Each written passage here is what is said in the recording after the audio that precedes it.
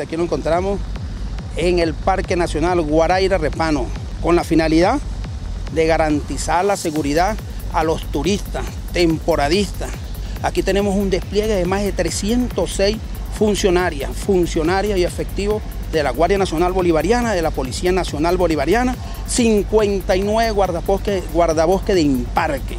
Todos ellos con un resultado muy positivo durante estos dos meses. La Guardia Nacional tiene tres detenidos a orden del Ministerio Público capturados en flagrancia en el cuadrante número uno Sabanieve.